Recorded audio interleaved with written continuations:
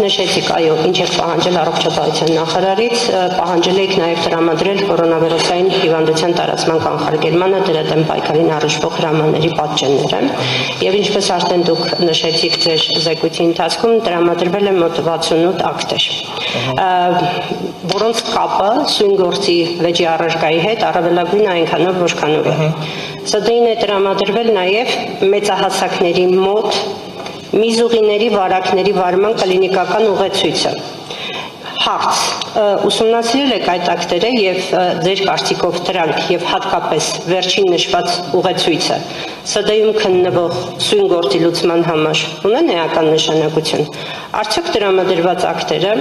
սոսկ ծավալի առումով տպավորություն չեն ստեղծում եւ ծանրաբեռնում համանդրական դատարանը վեճի առարկայի հետ ուղղակիորեն անմիջականորեն կապ չունեցող նյութերով։ Ես փորձեցի այդ ուղեցույցը եւ նմանատիպ այլ ուղեցույցեր ուսումնասիրել,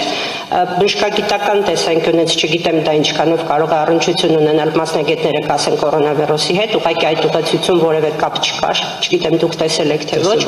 բայց գործի լուծման համար համանդրական դատարանում վեճի առարկայի մասով միզուղիների վարակների վարման կլինիկական ուղեցույցի հետ ես կապ չտեսա։ Ձեր դիրքորոշումը խնդրեմ։ Շնորհակալություն Տիկին Պետրոսյան, այս հարցով առանձնապես ասելիք չունեմ։ Ես խնդրել եմ հստակ տրամադրել կորոնավիրուսային հիվանդության կանխարգելման եւ դրա դեմ պայքարին առնչվող բոլոր հրամանների պատճենները։ Հասկանալի է, որ ձեր նշած ակտը ուղղակիորեն չի վերաբերում վեճի առարկային, ավելին ոչ միայն ձեր նշած համապատասխան ուղեցույցը, այլ նաեւ մյուս փաստաթղթերը։ Մյուս կողմից ըստ իս ուղղակիորեն սույն համանadrեիրավական վեճի առարկային առնչվում են առողջապահության նախարարի հետևյալ ակտերը, թիվ 23-ն է հրամանը, այնքանով որքանով վիճարկվում է բնակչության սանիտարը համաճարակային անվտանգության ապահովման մասին օրենքի նաև 20 պրիմ հոդվածի 3-րդ մասը, որտեղ նշվում է, որ համապատասխան կանոնները սահմանվում են նախարարի հրամանով, թիվ 17-ը, թիվ 24-ը հրամանները, որոնցում փոփոխություններ եւ լրացումներ են կատարվել առողջապահության նախարարի թիվ 65-ը հրամանով։ Հասկանալի է, որ նկատի առնելով նաև դիմողի դիրքորոշումը, դիմումում նշված փաստարկները,